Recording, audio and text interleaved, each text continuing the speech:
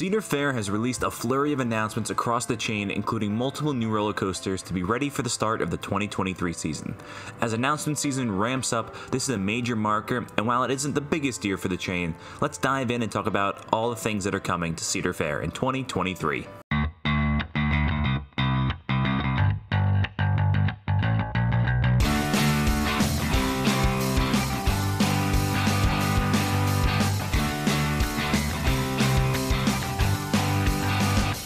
So let's start up north at Canada's Wonderland. The park announced a pair of additions. The first is a new thrilling flat ride, Tundra Twister, at 154 feet tall, swinging gondola style attraction.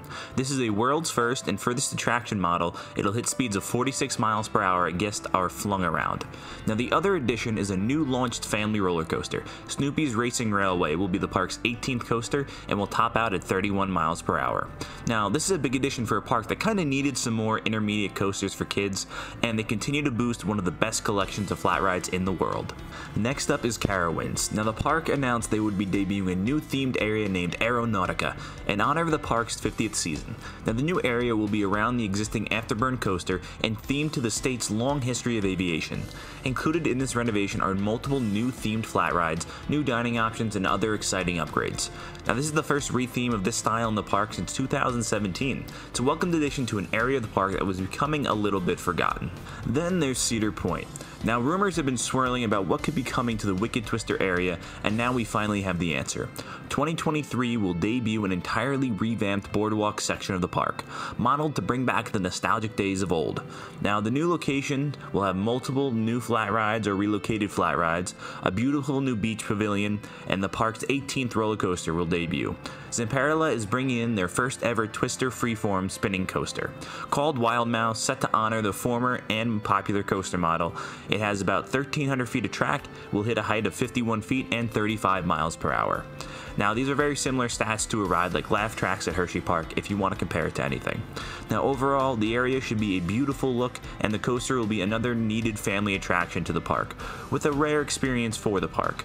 Now, my only concern to this area is that the capacity of the roller coaster will be an issue with the crowds. Normally, these rides draw very long lines. Then, heading west to Knott's Berry Farm, the park has unveiled their new renovation as well. As we have known for some time, Montezuma's Revenge is undergoing a major overhaul, but the entire Fiesta Village will also be getting a touch up. Included will be new dining options, a renovated stage, and a revamped marketplace. Now, the park is describing the area as being split into three new zones with slightly different theming, and it should be pretty impressive. Now, the coaster is also getting a new twist. It will be receiving major theming updates and will now feature a randomly selected either forward or backwards launch. This will keep riders guessing with every ride and should be different every time. Now, it should be an awesome way to revamp a classic and keep it fun for generations to come.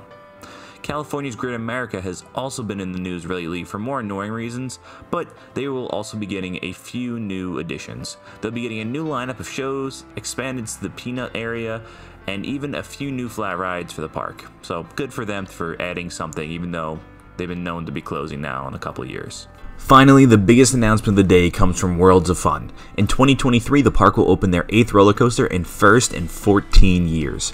GCI is coming in to build the world's first ground up Titan Track hybrid roller coaster.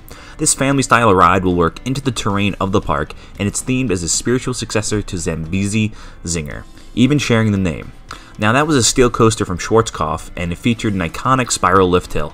GCI is recreating a spiral lift on this coaster, as well as reaching heights of 74 feet, speeds of 45 miles an hour, and it will traverse 2,482 feet of track. Now, the ride height and speed are nearly identical to Invader at Busch Gardens, so look for a somewhat similar ride experience, although this will be a little bit longer and use the terrain to its advantage. Now, I can't tell you how excited I am to see Worlds of Fun getting a pretty major addition and a unique one at that. I'm just really hoping that this means the other neglected parks may get something soon, like Valleyfair or Dorney. We'll really see they're next in line for something new soon, hopefully. Now, with more announcements in the pipeline, such as Dollywood, look out for more rundowns like this, and make sure to subscribe so you don't miss any content here from the shores of Island Coasters.